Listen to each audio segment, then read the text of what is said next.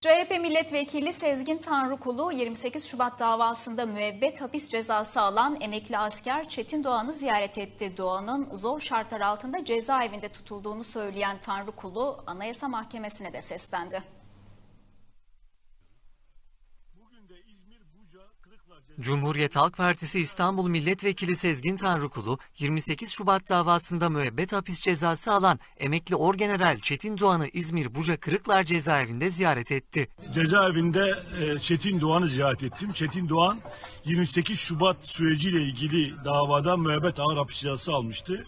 Ve şu anda burada bir yıldır e, tutuklu olarak bulunuyor, hükümlü olarak bulunuyor. Tanrıkulu ziyaretlerine ilişkin ayrıntıları anlattı. Çetin Doğan'ın kötü koşullarda cezaevinde tutulduğuna dikkat çekti. E, yaşları 74 ile 92 e, arasında değişiyor generallerin. E, zor koşullarda cezaevinde tutuluyorlar. Çetin Doğan e, tek başına e, bir e, ce- bir koğuşta kalıyor kendisi.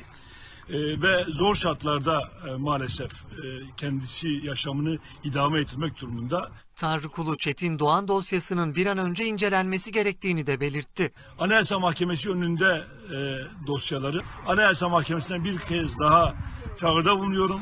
Buca'dan, İzmir'den bu dava dosyasını öncelikli olarak inceleyin ve kararınızı kamuoyuna açıklayın. Başka ihlaller gerçekleşmeden. Bu ziyaretle birlikte e, hükümlü olarak cezaevinde bulunan bütün emekli generalleri ziyaret etmiş oldum. E, görüşüm şudur. E, bu dava bir intikam yargılamasına dönüştü maalesef ve adil biçimde yargılanmadılar. Çetin Doğan hakkında Ankara Cumhuriyet Başsavcılığı 28 Şubat davasında haklarında verilen müebbet hapis cezaları kesinleşen 14 kişi için yakalama kararı çıkartmıştı. Çetin Doğan'ın da aralarında olduğu 8 kişi yakalanmıştı. Yargıtay, 28 Şubat davasında darbeye teşebbüs suçundan 14 sanığa verilen müebbet hapis cezalarına ise onama kararı vermişti. Kararın ardından davaya bakan Ankara 5. Ağır Ceza Mahkemesi, Genelkurmay Harekat Başkanı emekli Orgeneral Çetin Doğan'ın da bulunduğu isimlerin cezalarını kesinleştirmişti.